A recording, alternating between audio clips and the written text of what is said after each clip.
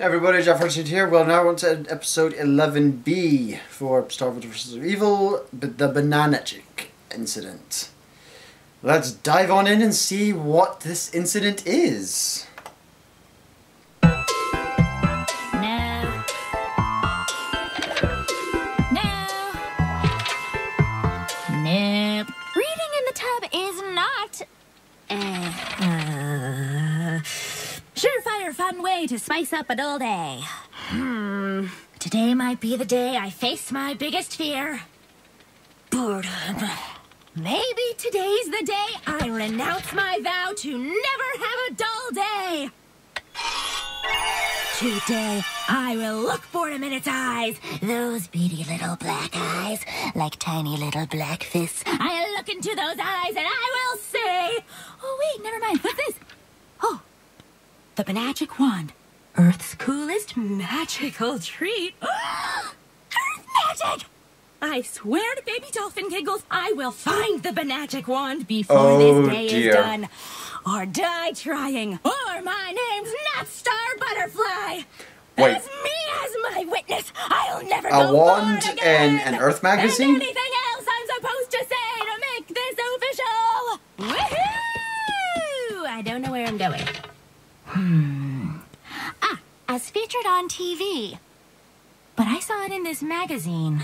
Hmm. Aha! A riddle! but I'm terrible at riddles. Need Marco!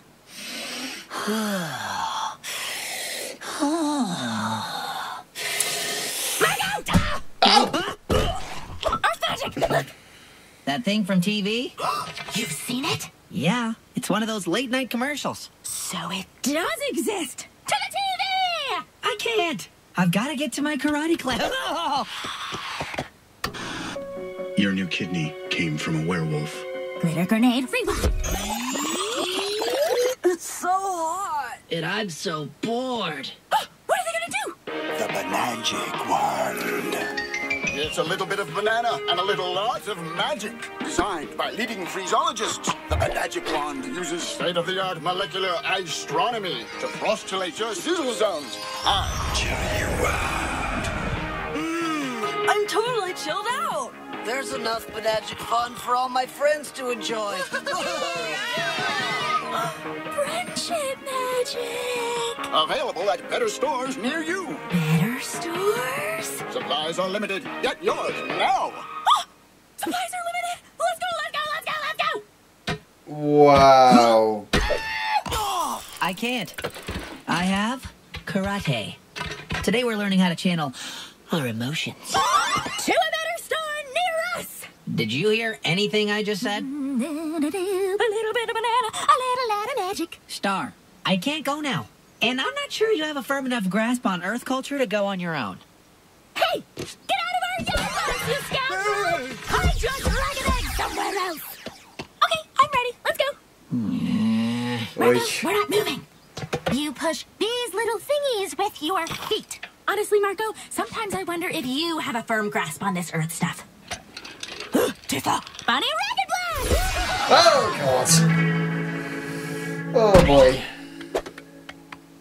Karate class? Marco, we don't have time for detours. The commercial said we have to hurry while supplies last. Focus on the quest. This is where I'm going.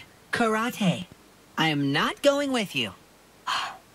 Dear, sweet Marco, I commend him for making it this far on the journey and vow to complete the quest in his honor. Goodbye, sweet Marco. Oh, boy.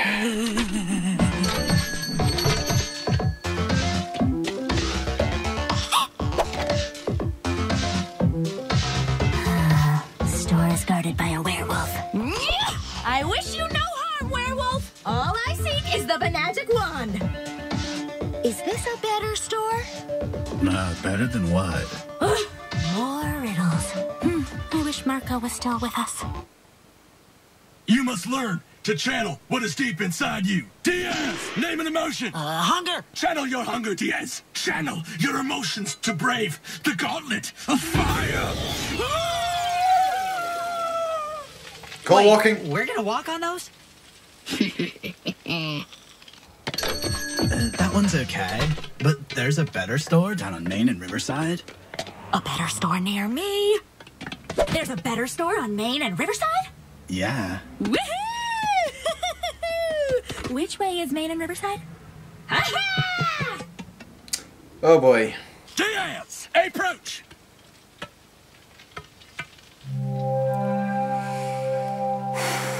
This should be entertaining.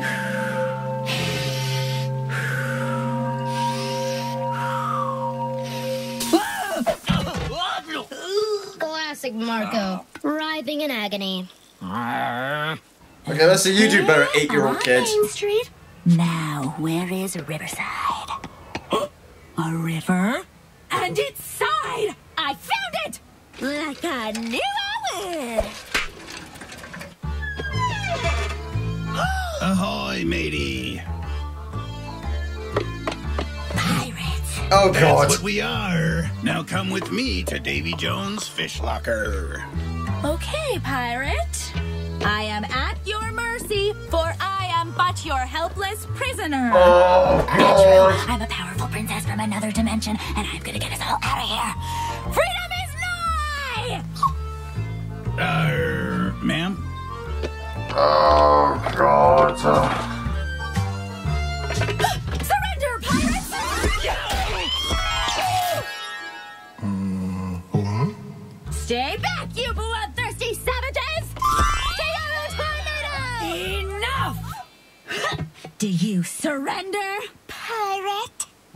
We aren't pirates. This is a pirate themed restaurant. Do you know where I can find a better store? Oh god.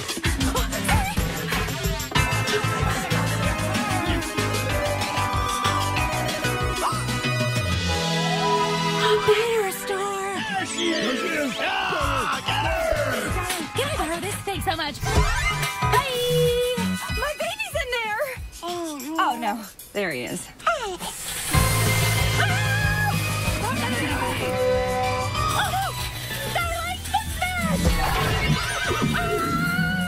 Miranda, I swear, if you wear fuzzy boots to my party, I will break your feet off. What the? Brittany, you gotta help me. There's an angry mob after me. Could you throw him off my trail? Just tell him I went that way. Thanks. Bye! She went in there. And here we have Marco Diaz approaching the gauntlet of fire. Been a tough 14 years for Diaz. No girlfriend. Can't seem to get past Greenbelt. That history of failure must be suffocating him right now. Jeremy, get out of here. I'm trying to channel my emotions.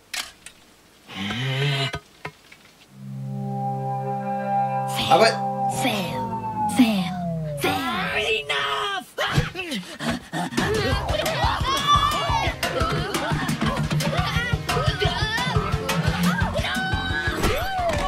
Where's the teacher in all this?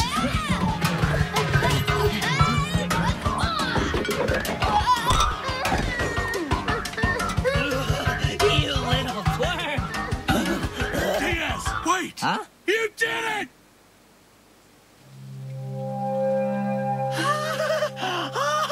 I did it! I understand now, Sensei. Diaz. This was all a part of your plan. Diaz. You had Jeremy act like this to get me to just... Foot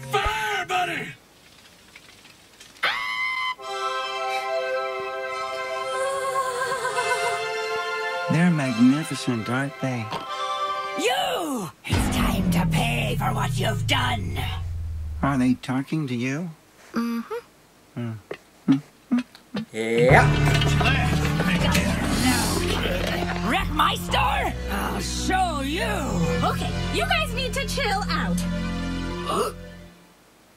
the Banagic wand. A little bit of banana, a little lot of magic. Designed by leading freezologists, the Banagic Wand uses state-of-the-art molecular astronomy to frostulate your sizzle zones and chill you out. Oh boy. She has really not got the hang of this. Star, I'm back. You still want to go, uh, huh? Hey, Marco! I conquered my boredom! Hey, Here, I went downtown by myself. I know. I was there. It was way easy. I guess you could say I've totally mastered Earth. Sorry, I underestimated you. You underestimated me? Uh, yeah, I did. Sorry. This stuff looks delicious, though. There was a fly on it. Okay. Pretty great place. That's saying something, cause I've been through outer space. Okay, so what exactly was that about? Was Star surprised that Marco underestimated her for her suggesting that she wouldn't that she wouldn't get the whole Earth stuff, or I,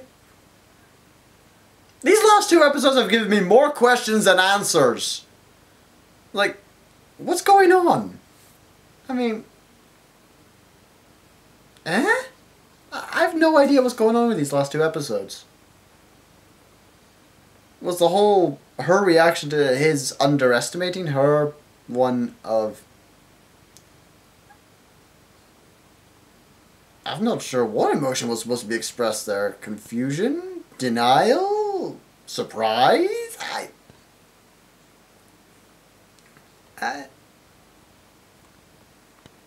I've no idea, actually.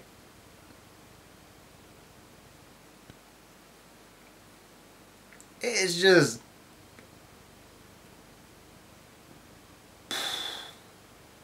Mm. I've no clue.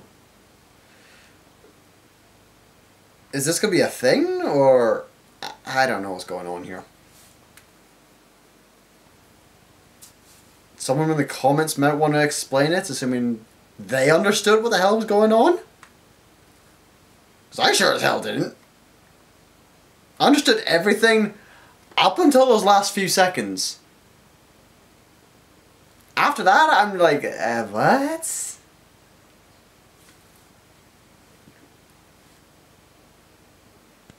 I think even the writing staff behind this one were like, uh, we gotta wrap up this episode somehow, let's have it be an awkward one.